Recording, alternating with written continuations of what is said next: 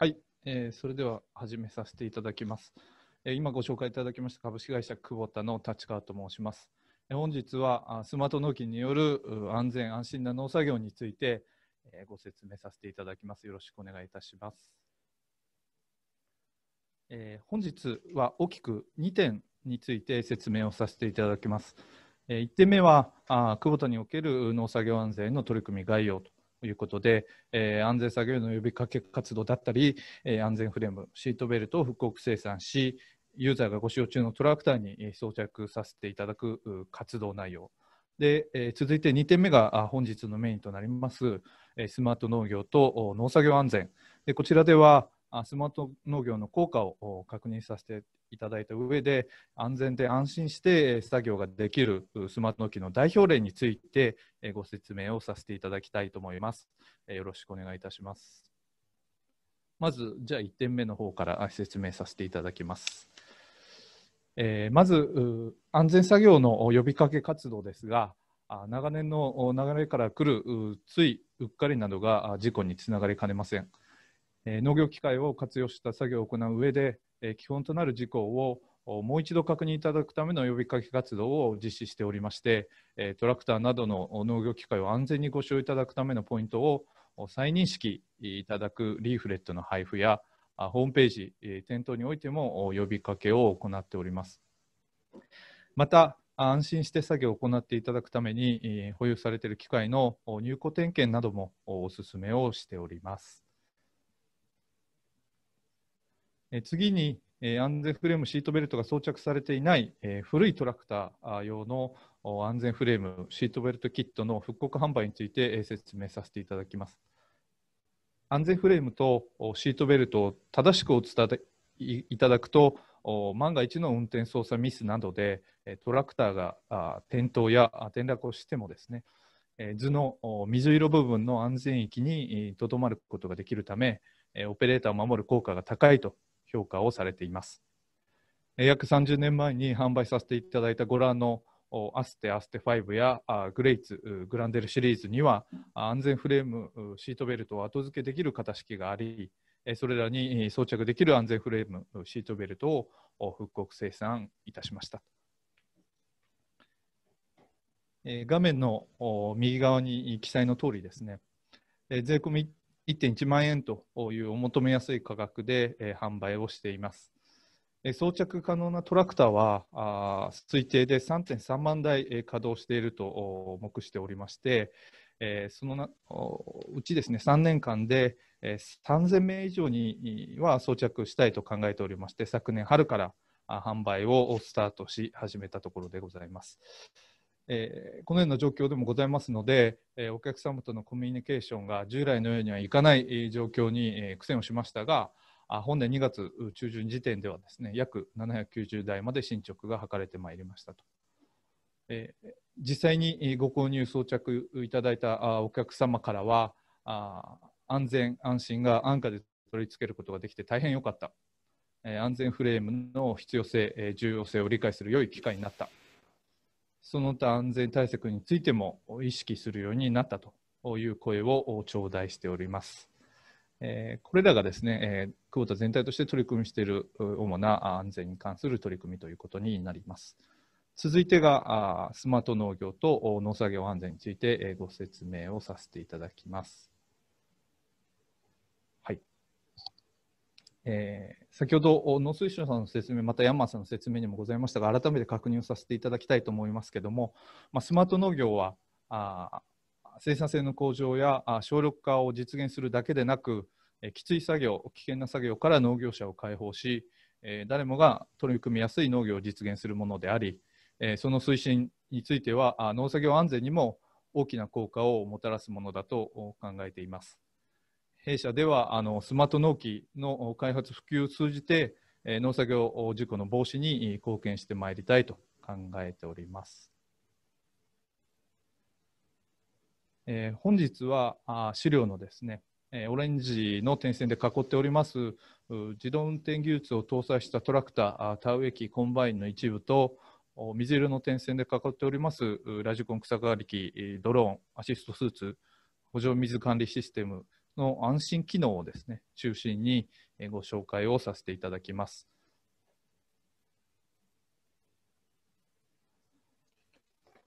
えー、1つ目はですね、えロボットトラクターに代表されるえ自動運転技術を搭載したあ農業機械、えアグリロボシリーズをご説明させていただきます。弊社ではあ有人監視下による無人自動運転が可能なトラクターと田植え機、え有人乗車による自動運転が可能なトラクター、田植え機、コンバインを開発、販売しておりましてえ、稲作における主要な農機3機種でえ自動運転が可能となっております。えこれらの機械に搭載した自動運転技術によりえ、オペレーターは機械走行のための運転作業から解放されてえ、周辺に危険がないか、適切な作業が行われているかなどの監視作業に集中できるようになります。経験の浅いオペレーターの方にとっては、特にその効果が大きいと考えております。それではですね、ここであのこちらでご紹介しております MR1000A という100馬力のロボットトラクターのによる自動運転開始までの流れと安心機能について映像でご紹介させていただきます。よろしくお願いいたします。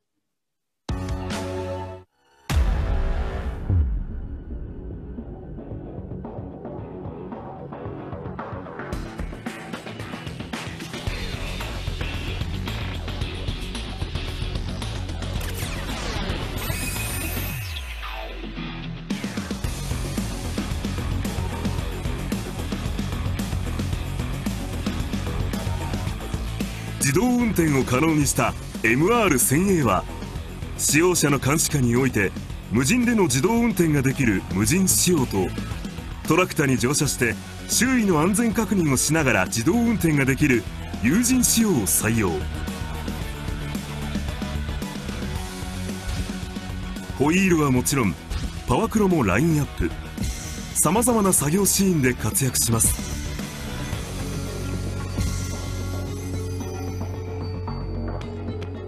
本操作は補助の外周を走行し補助マップを作成。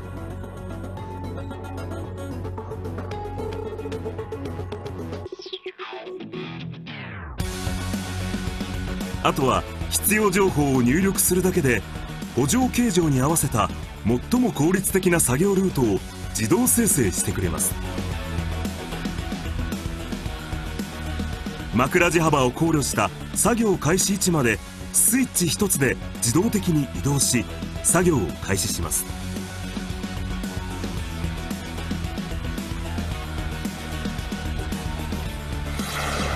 自動運転には RTK 方式を使用し数センチ単位での誤差が少ない高精度測位が可能。受信方式は別売りの久保田製基地局の他にも基地局の設置が不要な VRS 方式にも対応しておりさまざまな方式を選択することができます。対応インプルメントは高温作業をはじめ白かき肥料散布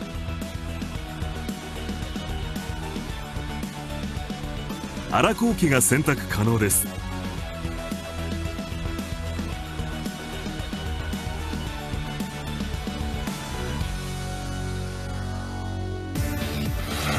MR1000A は安心サポート機能を搭載。機体がマッピングした補助からはみ出したり作業経路から外れたり緊急時にステアリング変速各ペダルを操作すると自動運転を停止します。無人仕様には障害物検知レーザーソナーを装備。補助内の人や障害物を検知すると自動運転を停止します。無人仕様には専用タブレットを採用。トラクターの監視を行いながら更新車速などの変更が行え補助状態に合わせた作業が容易に行えます。また無人仕様はお持ちのトラクタ保有機と2台同時に作業を行うことが可能。自動運転の無人使用機を追走して監視を行いながら保有機で手動作業を行います。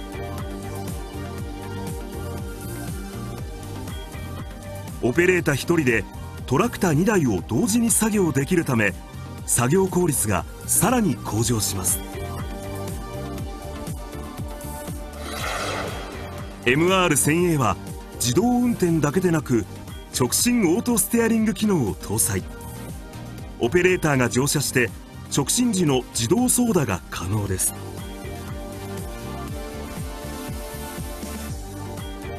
自動運転対応インプルメント以外にも対応し直進時のステアリング操作が不要なので作業に不慣れな方でも精度よく作業が行えます。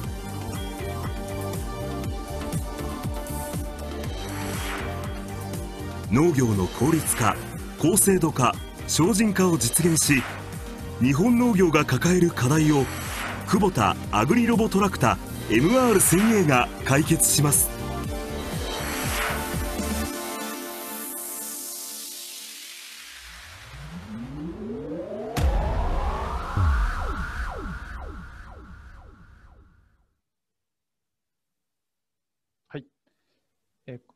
このページは各機種におけるですね、先ほど動画の前のページでご紹介した各機種における自動運転を停止する条件及び主な機能の一覧となっています。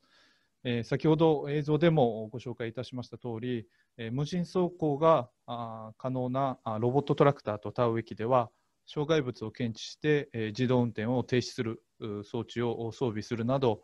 農林水産省が定める安全性確保ガイドラインに沿ってですね、え十分に安全性を確保したスマート農協を開発し、え皆様にお届けをしているという状況でございます。でここで、えご参考ですけども、あの久保田バーチャル展示会ノーフェス2021新春についてということで、えご紹介をさせていただきます。あの本年の1月中旬からですね、えー、オープンをしておりまして、えー、今月末までの限定公開のサイトとなっております。ちょっとせっかくの機会ですので、えー、この内容をちょっと簡単にご紹介させていただきたいと思います。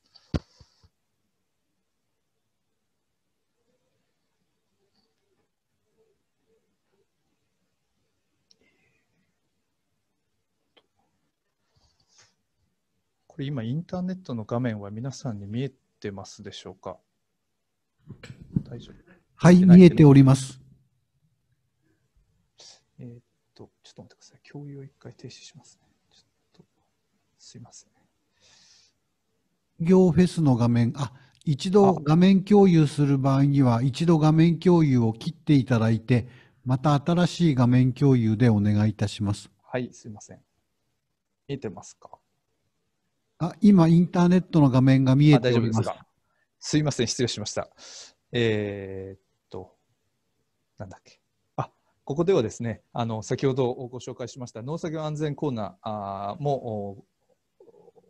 紹介をするページがございまして、で、ご確認いただきたいポイントとして、あの、ご紹介させていただくのは、このテクノロジーコーナーというところになります。ここをクリックいただくと、営農支援システムという、まあ、ケーサス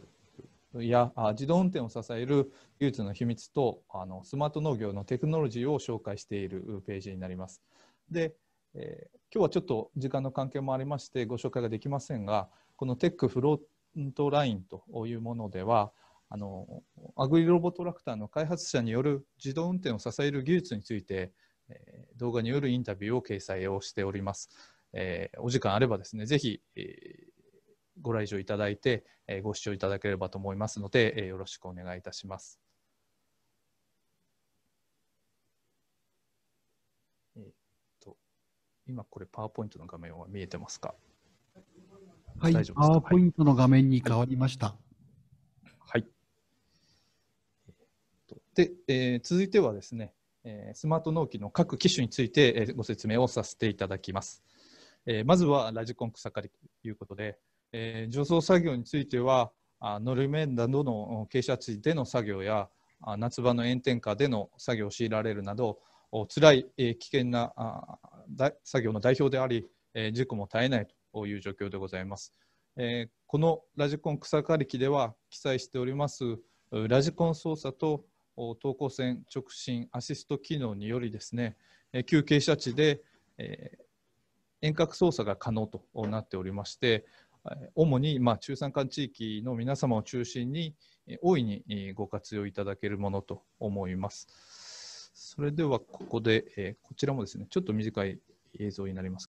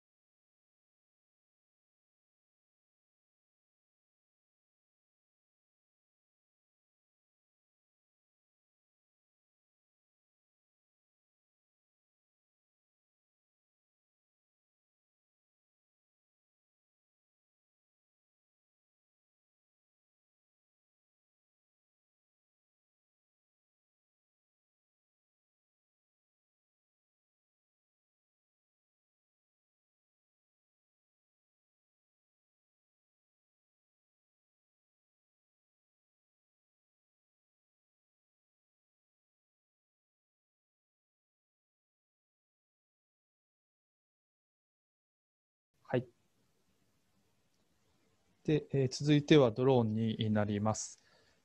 え、近年のドローン技術の発展は珍しくてですね、え、農業でも農薬散布や作物のセンシングなどで活用されている状況です。えこちらも遠隔操作によるドローンでの農薬散布はあ作業者が農薬をかぶるリスクを低減するなど安全面での効果も期待されている機械となっております。そしてですね、えー、パワーポイントのページにも記載の通り、障害物検知レーダーを搭載しておりまして、まあ、安心な飛行をサポートし、えー、するというものになっています。えー、またあ、自動飛行もですね、あのー、選べるようになっておりまして、えまあ、疲労軽減にも貢献できる機種となっております。それではここであの障害物検知センサーのちょっと動作イメージをですね、動画で確認させていただきます。このように接近すると、まあ、止まると。まあ、ちょっと条件にもよりますが、主にこのような形で安心して飛行ができるというものになっております。続いてはアシストスーツの紹介です。弊社ではアシストスーツ2種類ございまして、まずはパワーアシストスーツをご紹介させていただきます。重量物の運搬作業など、重労働の省力化を実現する機械となっております。手元の操作スイッチですね、あのウインチのワイヤーを上げ下げすることで、約20キロのコンテナを楽に持ち上げて下ろすことができると。また、ワイヤーが荷物を吊り下げてくれるので、腕には負担がかからないものになっています。そしてさらに腰アシスト機能によってコンテナを持ち上げる際は太ももを押して立ち上がりをアシストいたしますのでコンテナを持ち下げる際は姿勢に応じて太ももと腰を保持してゆっくり下ろすことができると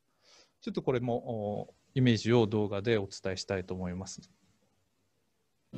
パワーアシストスーツはリュックを背負うように簡単に装着できます。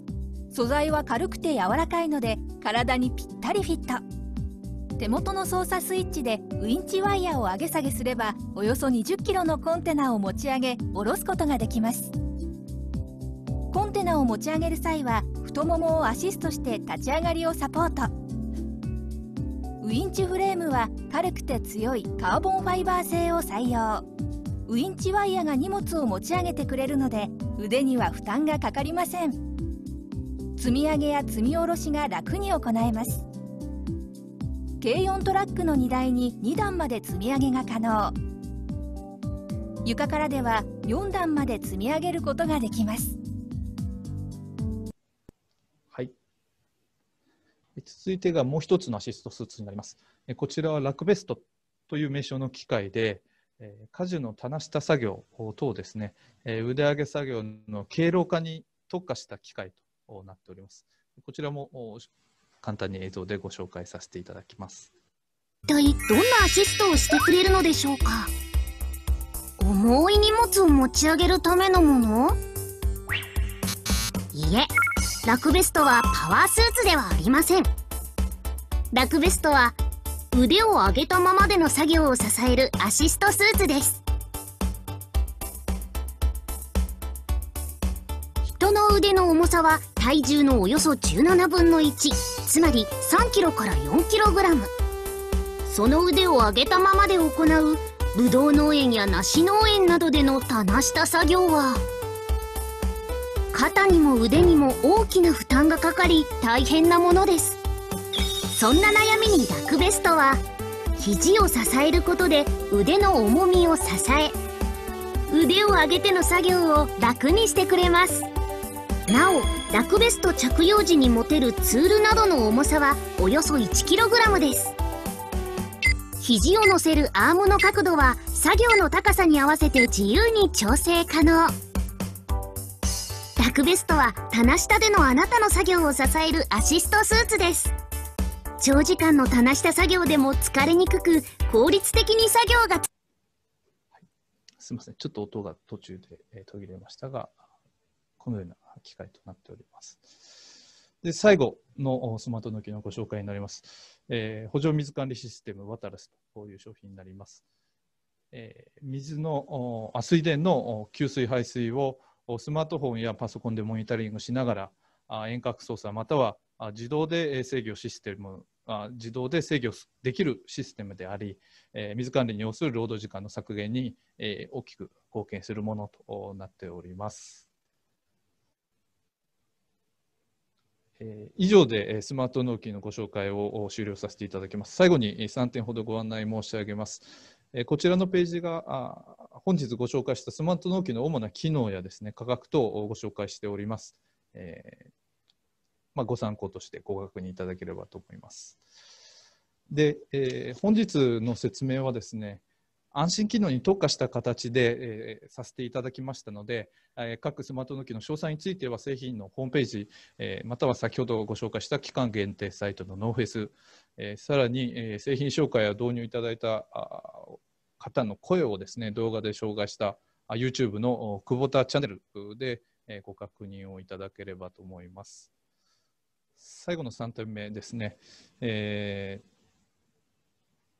別途ですね、ご質問を頂戴する際は、あ記載の QR コードまたはですね URL からですね、メールでお問い合わせをいただけるとありがたいなと思っています。もし電話でのお問い合わせをご希望される場合は、